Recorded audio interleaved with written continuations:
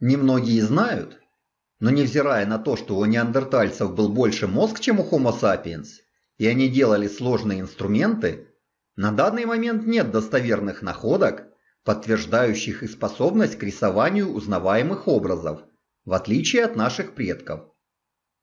Искусство представителей Homo sapiens можно встретить в виде ярких визуализаций животных и других фигур на скалах и стенах пещер.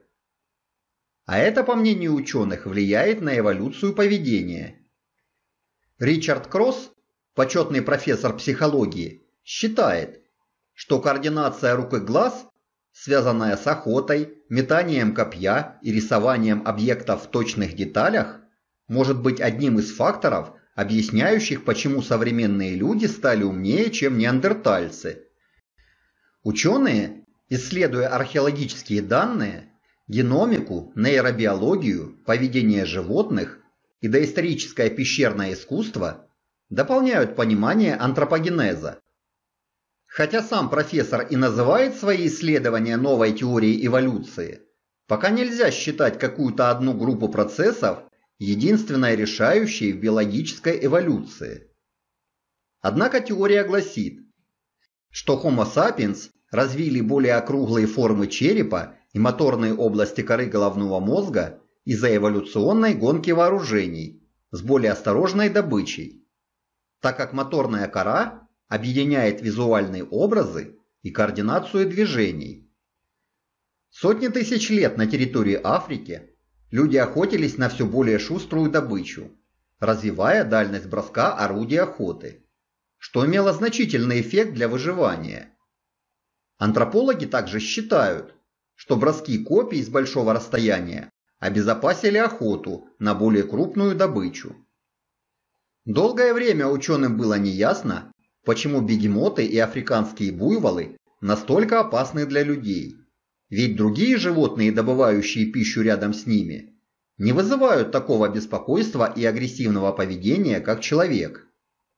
Также замечено, что зебры, обитающие вблизи селений, не позволяли к себе приблизиться человеку, в отличие от диких лошадей, на расстояние эффективное для поражения отравленными стрелами – которые использовали африканские охотники в течение как минимум 24 тысяч лет. А неандертальцы, покорявшие Евразию, в свое время пользовались толстыми копьями, чтобы с малого расстояния охотиться на оленей, лошадей, бизонов и другую крупную дичь, которая еще не развила врожденную боязнь людей. Поэтому, по мнению ученых, Неандертальцы мысленно представляли ранее увиденных животных, благодаря рабочей памяти, но они не смогли эффективно воплотить эти умственные образы в скоординированные наборы движения рук, необходимые для рисования.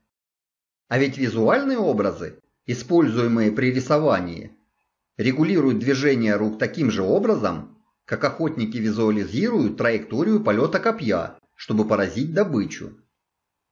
Предыдущие исследования Ричарда Косса были сосредоточены на искусстве и эволюции человека с использованием фотографий и фильмов для изучения рисунков и гравюр с животными, сделанными первобытными художниками от 28 до 32 тысяч лет назад в пещере Шове на юге Франции. Ричард Косс считает, что эти рисунки могли служить учебными пособиями для молодых охотников поскольку процесс рисования усиливает навыки наблюдения. Возможно, эти рисунки были полезны для понимания и развития техники охоты, оценки внимательности и выбора уязвимых областей у добычи, а также в качестве выбора ролей каждого из участников группы.